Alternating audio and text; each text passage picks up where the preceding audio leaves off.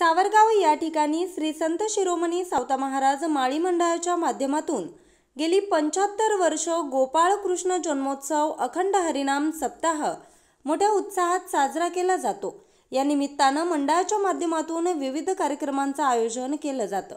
श्री गोपाळ कृष्ण भगवान यांच्या जन्मोत्सवानिमित्त हरिभक्त परायण अशोक महाराज जाधव आणि काल्याच्या कीर्तनाची सेवा हरिभक्त परायण विजय महाराज बाळसराफ यांच्या सुश्राव्य कीर्तनानं होत असते. यानंतर संपूर्ण गावात बांधलेल्या दहीहंड्या फोडून महाप्रसाद केला जातो. यावर्षी दहीहंडी उत्सवामध्ये सावरगावमधील सर्वच तरुणांनी महिला लहान मुलांनी मोठ्या संख्येने सहभाग घेतलाय. रात्री पालखीची गाव प्रदक्षिणा करून श्रीकृष्ण मंदिरात अखंड हरिनाम सप्ताहाची सांगता होते. या आनंदमयी सोहळ्यासाठी गाव पंचक्रोशीतील तसेच मुंबई पुणे भागातील भाविक मोठ्या संख्येनं उपस्थित श्रीकृष्ण जन्मोत्सवाच्या निमित्तानं रक्षाबंधन ते गोपाळकाला ह्या प्रेरमध्ये सकाळी चार ते सहा काकडा भजन सायं सायंकाळी पाच ते सहा हरिपाठ व रात्री नऊ ते अकरा कीर्तन सेवा. श्रीकृष्ण मंदिर सावरगाव या ठिकाणी अगदी उत्साहाच्या वातावरणामध्ये संपन्न झाल्या. या सप्ताहामध्ये अनेक नामांकित महाराज लोकांची कीर्तन सेवा या ठिकाणी झाली व दहीहंडीचा कार्यक्रम होऊन या कार्यक्रमाची सांगता झाली.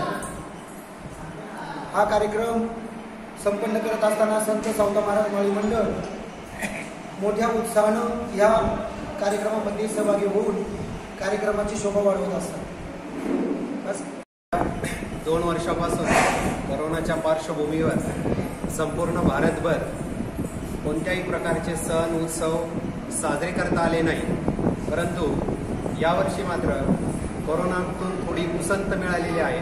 कोरोनाचा प्रादुर्भाव थोडा कमी झाला आणि सरकारने सुद्धा अनेक असे निर्बंध शिथिल केल्यामुळे यावर्षी श्रीकृष्ण जन्मोत्सवाचा कार्यक्रम सावरगाव पंचक्रोशीमध्ये अतिशय उत्साहामध्ये साजरा करण्यात आला. यामध्ये काल श्रीकृष्ण जन्माष्टमी निमित्त सकाळी श्री संत हरिभक्त परायण संतदास महाराज मनसुख यांचं सुश्राव्य कीर्तन झालं. त्यानंतर जन्माचं कीर्तन रात्री हरिभक्त परायण अशोक महाराज जाधव यांच्या उपस्थितीत संपन्न झालं. आणि आज या नामसप्ताहाची सांगता काल्याच्या कीर्तनाने झाली. काल्याचं कीर्तन याच गावचं भूषण सुपुत्र भूमिपुत्र हरिभक्त परायण डॉक्टर विजय महाराज बाळसराव यांच्या हस्ते काल्याचं कीर्तन झालं. तदनंतर संपूर्ण गावामधून विविध दहीहंड्यांचं दहीहंडी फोडण्याचा कार्यक्रम अतिशय उत्साहामध्ये संपन्न झाला.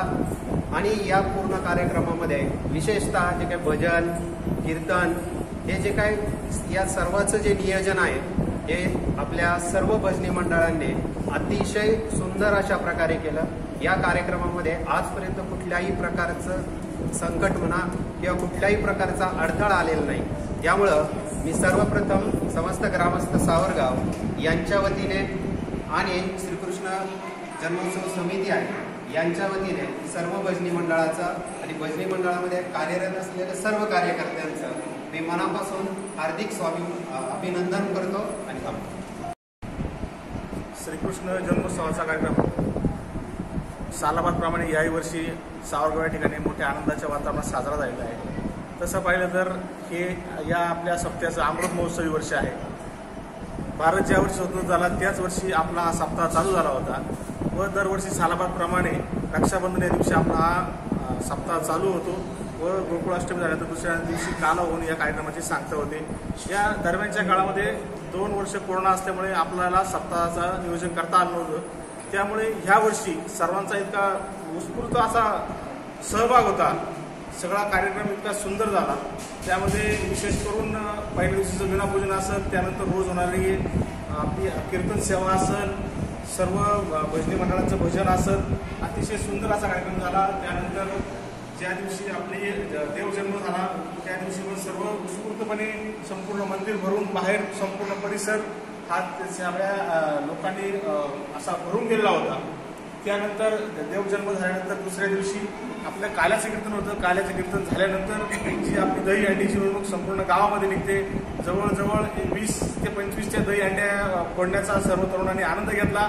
अतिशय उत्साही वातावरणात कुणाला एक कुठली दुखापत नव्हता व आनंदी वातावरणात हा दही अंडीचा कार्यक्रम छान प्रकारे जायला आहे. व दरम्यानच्या काळात परवाच्या दिवशी पारंपरिक पद्धतीने मंगळागौरीचा महिलांचा अतिशय सुंदर असा कार्यक्रम या ठिकाणी म्हणजे सर्वांनी त्याची नोंद घ्यावी. असा कार्यक्रम झाला. सावरगावच्या लेकी सुनी लेकी आणि सुना यांनी एकत्र येऊन हा अतिशय सुंदर असा कार्यक्रम त्यांनी सादर केला. हा सर्व कार्यक्रम होत असताना सावतामाळी महाराज मंडळ असेल त्याचबरोबर प्रामुख्याने सावतामाळी भजन मंडळ असेल आणि समस्त ग्रामस्थ सावरगाव यांनी संयुक्तरित्या एकत्र येऊन असा सुंदर असा कार्यक्रमाचं नियोजन केलं आणि अतिशय छान असा कार्यक्रम झाला. एवढंच या ठिकाणी सांगतो. न्यूज रिपोर्टर रामकृष्ण भागवत आज चोवीस तास सावरगाव. नवनवीन आणि ताज्या घडामोडींसाठी आज चोवीस तास सबस्क्राईब करा आणि बेल आयकॉन